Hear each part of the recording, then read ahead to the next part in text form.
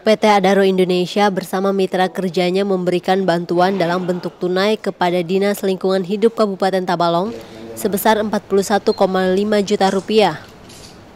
Bantuan ini diberikan sebagai bentuk dukungan PT Adaro Indonesia kepada pemerintah daerah Kabupaten Tabalong untuk mensukseskan penilaian Adipura tahap kedua yang akan dilaksanakan dalam waktu dekat ini.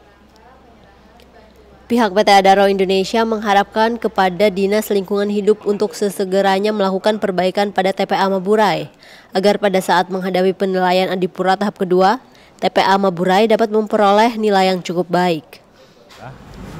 Kita bersama mitra kerja uh, mendukung ya mendukung untuk perbaikan itu. Nah mudah-mudahan dengan perbaikan uh, ini nantinya uh, dalam rangkaian uh, Adipura ya penilaian Adipura mudah-mudahan TPA ini mendapat nilai yang optimal gitu. Tuh. Bantuannya?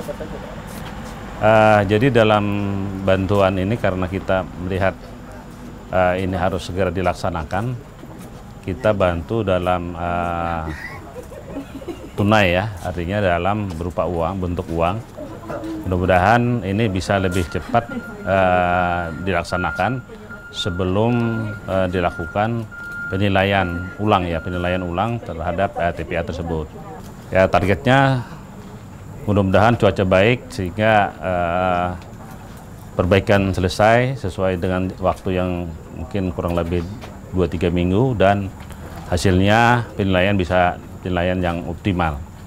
Ya. Kepala Dinas Lingkungan Hidup Kabupaten Tabalong, Haji Rahmadi Amir, menegaskan bahwa penggunaan dana bantuan ini akan sesegeranya dilakukan. Hal ini dilakukan agar persyaratan sebuah TPA yang mempunyai sungai lindi dapat direalisasikan. Kita segera langsung beto hari ini sudah serah terima dari Pitaro, besok lusa udah action, udah kita mulai kerjakan dan langsung dengan sisa waktu siang ataupun malam sehingga dalam secepat mungkin kita harus selesaikan uh, semua yang disebut.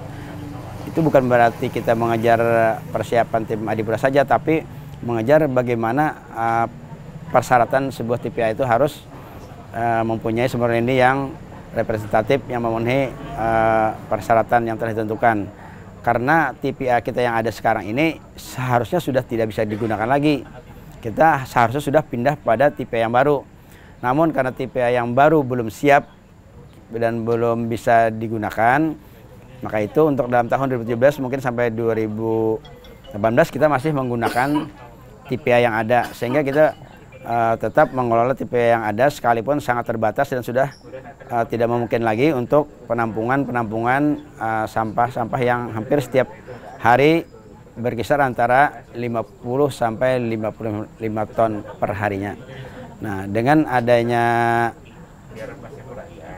uh, perbaikan sumber lindi diharapkan tidak mencemari lingkungan sekitar terutama air yang ada di Kabupaten Tabalong. Rencananya bantuan yang diberikan oleh PT Adaro Indonesia bersama mitra kerjanya ini akan digunakan untuk pembuatan tanggul Sungai Lindi di TPA Maburai. Dari Kabupaten Balangan, Pemkap Tabalong melaporkan.